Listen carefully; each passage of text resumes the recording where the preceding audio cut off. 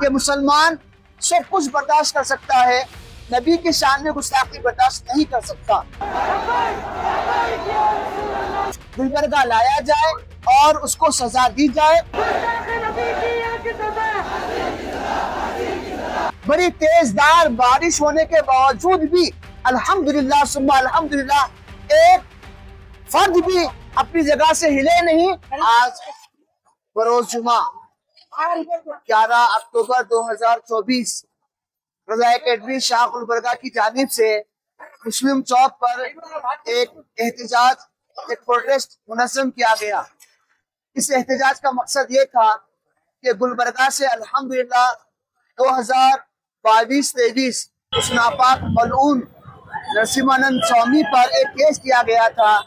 Court से NBW issue हो चुका है नॉन बेलेबर वारंट लेकिन अफसोस के साथ मुझे कहना पड़ रहा है कि महकमे पुलिस और यहाँ के इंतजामिया इस पर खामोश हैं और इसकी जुर्रत और बढ़ गई है। इस बार उसने कुछ दिन पहले फिर से गुस्ताखी की। एक बात तो वाजे तौर पर बता दूँ कि मुसलमान सब कुछ बर्दाश्त कर सकता है। नबी की शान में गुस्ताखी बर्दाश्त नहीं कर सकता।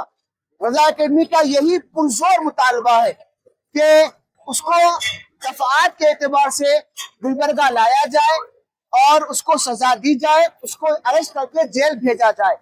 और दूसरी बात, मैं हुकूमत हिंद और हुकूमत कर्नाटका से, मैं रजा अकेडमी की जानब से ये गुजारिश और अपील करता हूँ कि पैगंबर बिल लाया जाए।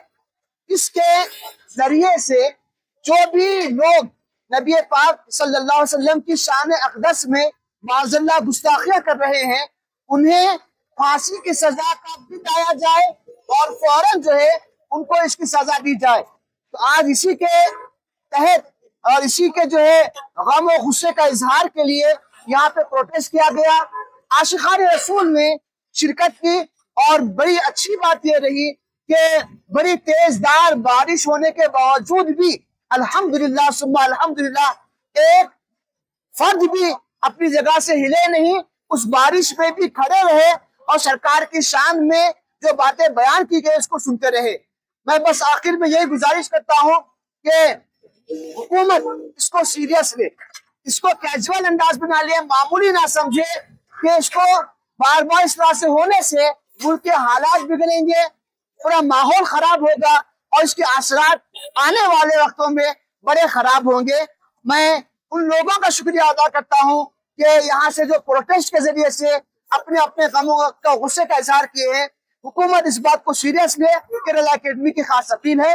असला रहमतुल्लाहि व